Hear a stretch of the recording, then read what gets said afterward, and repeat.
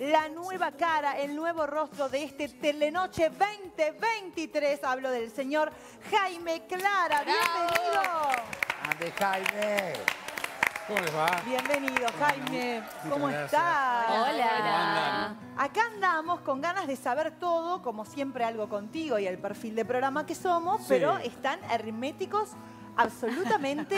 No sé si tanto. Con la escenografía no nos dejaron Ah, ni pasar. Hay mucha gente que está trabajando, pero de hace muchos meses en eso. ¿eh? Desde hace mucho, ¿no? ¿Cómo se viene esta preparación para este Telenoche 2023, Bien, Jaime? con mucha expectativa, este, muy contentos, ya estamos en el día D, este, y, y bueno, contentos porque hay todo un equipo trabajando desde hace muchos meses pensando en la nueva escenografía, pensando en un nuevo formato, pensando, independientemente de las caras que vamos a estar al frente del informativo, pensando la forma que podemos encarar mejor la, forma de decir las noticias, de, eso de primero estás vos, que es de alguna manera el concepto que, que va a dominar todo el, todo el informativo, bueno, tratar de, de que eso se plasme de la teoría a la práctica. Bien, informemos a la gente cuando decís las caras que vamos a estar al aire. Estamos hablando también de Emilio Izaguirre, Exactamente. de Viviana Ruggero. Eh, Exactamente, ese es el equipo central conmigo. Bien. Vamos a estar los tres. Perfecto. Este, y a partir de ahí, bueno, hay toda una redacción que, que viene trabajando todos los días.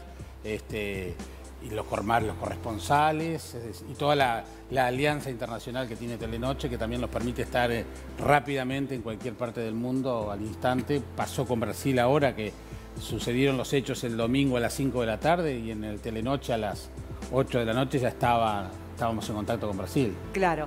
Jaime, para vos, este, decías acá en unas notas previas, cuando arrancabas con esto de Buen Día, que tampoco Día. es que fue hace tanto. que- 28 de marzo. 28 de marzo, o sea que no hace ni nada. un Nueve año. meses, nueve meses. Claro, nueve meses como, como un este, embarazo. un embarazo, digamos. exactamente. Este, mucho cambio en tu vida en Demasiado este rápido. corto tiempo. Mucho, muy- mucho este, rápidamente. ¿Cómo vas procesando todo eso? ¿Cómo te cayó a vos la noticia, el llamado? Fue toda una sorpresa.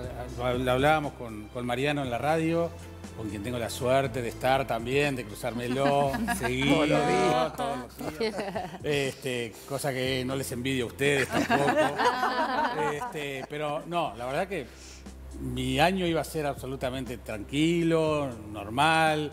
Yo estaba, estaba trabajando en la, en la ORT, en la Comisión de Patrimonio, en la radio. Y bueno, llegó lo de Buen Día y fue toda una sorpresa. Este, y después formamos un equipo que estaba funcionando muy bien, muy aceitado, todo. Después llegó esto de Telenoche. Para, ya buen día, en su momento vos contaste que lo pensaste, ¿no? Lo meditaste, Sí, no, fue sí, un claro. sí No, enseguida. pero además yo soy un hombre de radio, lo dije acá también, Sí. sí. Me sigo considerando un hombre de radio, pero bueno, esto llegó y uno trata de, de ser lo más profesional posible. Pensé que me iba a costar mucho más a- la adaptación al, al medio, si bien yo había hecho un programa cultural en el Nuevo Siglo durante casi ocho años, pero no era lo mismo, este, era otro formato, era grabado. Acá de estar en vivo todos los días, parado, parado, en un buen día. No hay silla, parado. El único que se quedó claro, ¿no? El único que se sentaba eran yo 10 minutos al final. Pero bueno, no, hablando en serio, este, me sentí muy cómodo con un equipo de producción increíble, con unos compañeros de panel, salvo Fablet, el resto excelente. Este, no, yo para que después titulen. Claro, claro. Jaime Fablet. Hay problemas entre Jaime Claro, y Martín. Fablet. Este, pero, pero bueno, me adapté muy cómodo. Y bueno, lo pensé mucho en su momento y ahora esto de Telenoche Y esto de. Telenoche, que ahí va, ese sí, vino más rápido que el de Buen Día, ahora que ya No, estás más empapado en televisión, o también te No, costó también, pensar no, ese? también, porque va supone otra cosa, su- supone otra responsabilidad. No, todos los que estamos acá, los televidentes, nos criamos viendo Telenoche. Telenoche es el primer informativo de la televisión uruguaya, es decir, eh, primero fue Telenoche, después vinieron los demás, es decir, es, es el informativo, tiene 55 años este, Telenoche, es una marca demasiado fuerte en la televisión uruguaya, este, con nombres increíbles, solo por nombrar a Giacosa, pero podíamos revisar la historia que, que tiene Telenoche. Entonces, estar, estar allí eh, al frente de, de este informativo es una gran responsabilidad. También yo tengo un perfil por el lado cultural muy fuerte, entonces tampoco quería desperfilarme de eso. Obviamente que sigo con la radio, sigo con Sao Sarandí, pero, pero bueno, también supone el integrarme a una redacción que viene trabajando y haciendo las cosas muy bien y entonces decir, bueno, ¿cómo adaptamos estas nuevas ideas a esa redacción que trabaja? Entonces, bueno, ¿cómo encajo yo en todo eso? Y bueno, sí, demoró, pero bueno, está finalmente, creo que era una oportunidad que no podía dejar pasar. Excelente. Y cuando llegó el sí, ¿qué le vas a aportar vos a ese Telenoche? ¿Con qué aire nuevo venís a lo que ya está? No, yo creo que lo que, vamos a hacer los tres, que lo hemos hablado, este, no solo además de que se le encare el informativo, sino eh, entre los tres, entre Viviana, Emilio y yo, el hecho de, de, plantearle al, televidente mayor empatía. Es decir, a veces uno siente que se miden la, eficiencia de los informativos por cantidad de noticias. Ah, bueno, hoy dimos 30 noticias y está muy bien, cuanto más noticias des, está muy bien, es mejor. Pero a veces, ¿cómo las das? Entonces, yo el otro día ponía, ayer, en, Vamos Arriba, decía, el otro día pasó lo que pasó con eh, que se cayeron los árboles ahí en Sayago, que cayó arriba de una casa. Uno no puede pasar de esa noticia donde una familia se quedó sin, una casa porque vino un temporal de cinco minutos, le cayó un árbol encima, pasar a que el, dólar volvió a bajar sin, nada, ¿no? Es decir, es, estar un poco en ese primero estás vos, este, quiere decir eso, estamos atentos a lo que le pasa a la gente, tratar de contarles las noticias de otra manera, no ser simples presentadores de noticias. Que no está mal, son estilos diferentes.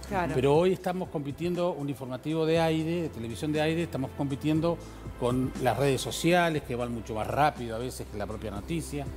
Mm. Hoy justamente vemos noticias en las redes que muchas veces no son ciertas, entonces más que nunca la intermediación del periodismo es clave para chequear. es exactamente al revés de lo que se dice hoy eh, viva el periodismo ciudadano, cualquiera saca una foto en un, lugar o dice algo y ahí, está la noticia, no es tan así, al revés, se requiere del profesional este, para ser el intermediario entre ese hecho que aparentemente sucedió y poder transmitirlo. Es decir, hay una, suerte de, momento bisagra a nivel del periodismo y creo que tenemos que estar a la altura de eso.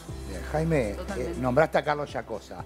El ancla de un informativo es parte crucial de la televisión moderna. ¿Vos tenés, te dio el tiempo?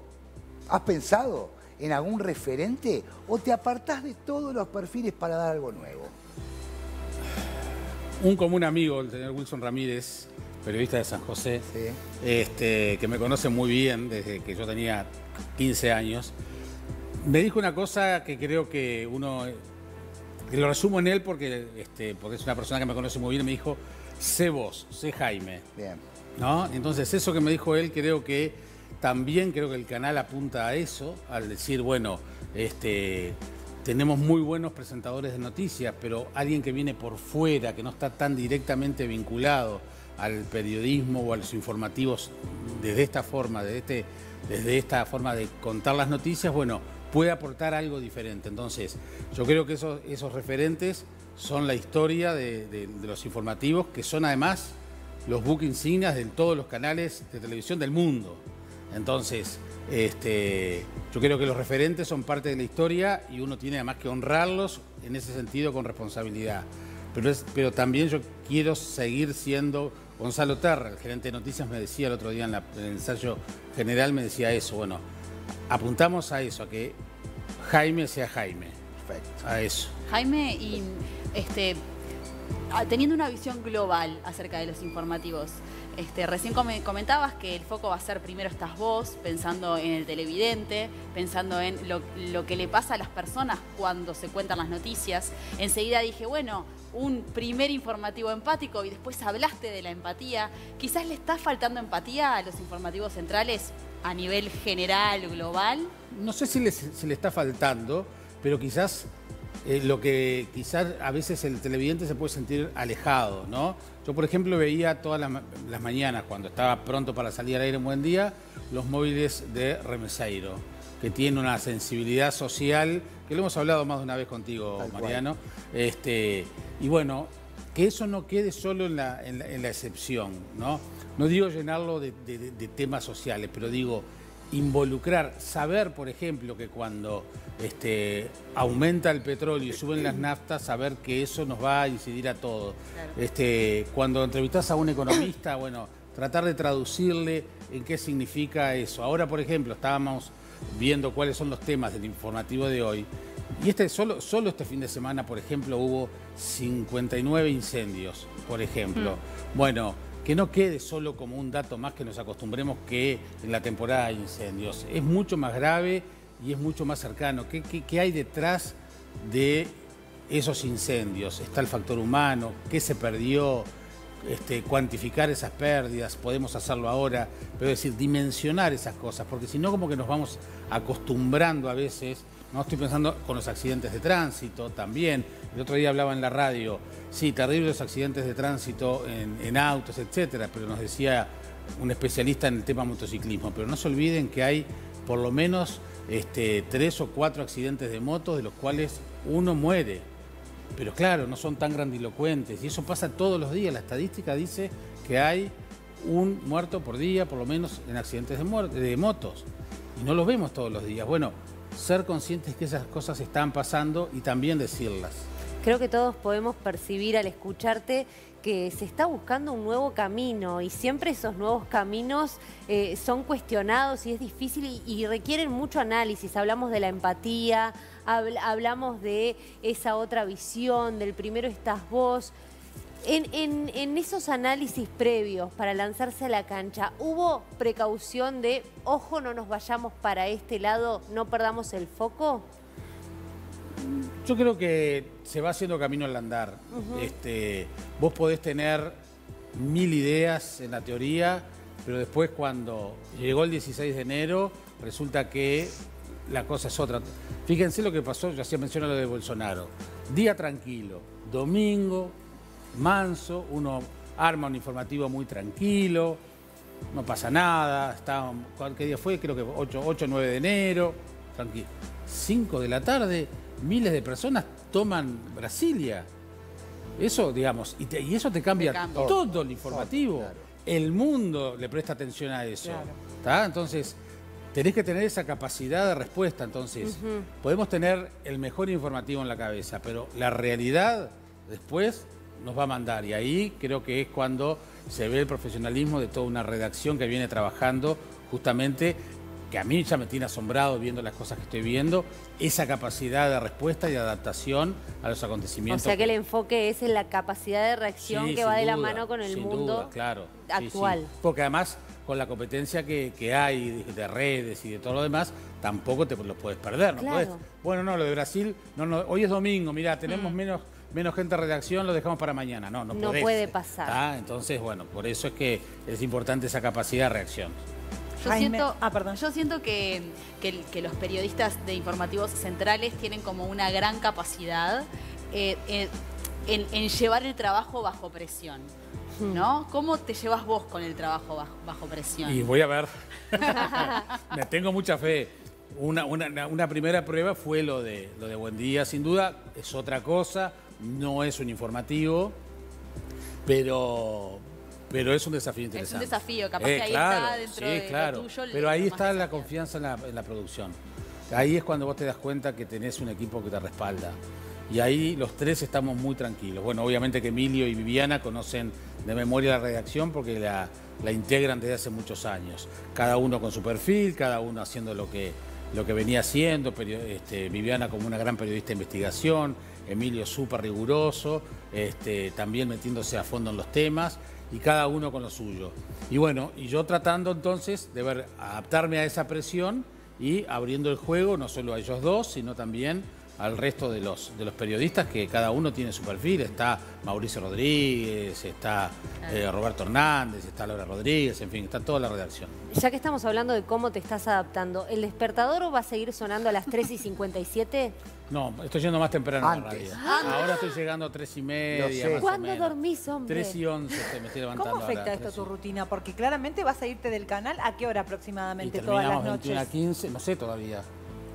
Bueno, termina 21 a 15 el aire. Calculamos que a las 10 ya te, fuiste. Ah, sí, más que vale. Más te vale. Sí, claro. 9 y media, 9 y media. 21 a 17 lo quiero saliendo, por favor, se los, le pedimos a los compañeros que, tenés tiempo para una siesta. Claro. No, ahora, ahora sí, ahora, ah. ahora no, por eso. Me fui de la Comisión de Patrimonio, entonces ahora hago la radio de mañana con Laurita Rodríguez llego a las 3 y media más o menos en la radio, hasta las 7 hago el informativo 6 a 7, estoy, estoy caminando, salí a caminar, hago 6, 7 kilómetros por día. Muy bien. Saludable. Sí, exacto. Después ahí pego una siestita de una hora. Divino. Y después hago alguna otra cosita, picoteo, y vuelvo a la radio a mediodía a hacer viva la tarde.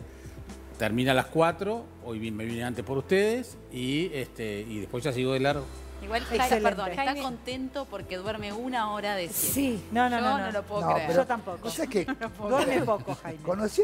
Conociéndolo a Jaime después de un tiempo trabajar con él. Sí, Marian. Duerme igual que nosotros. ah. ¿En qué sentido? ¿O miento? No, no sé. No, Sé, eh, ¿a qué hora? no sé cómo dormís vos. Pero a mí no me Voy a cambiar el verbo. Voy a cambiar el verbo. Voy a cambiar el verbo. A ver. Descansa igual que nosotros. ¿Por qué? ¿Por qué decís eso? Porque se hace el tiempo, porque... O sea, yo las, las... Por ejemplo, anoche, además este maldito reloj te dice la hora que cuánto dormí.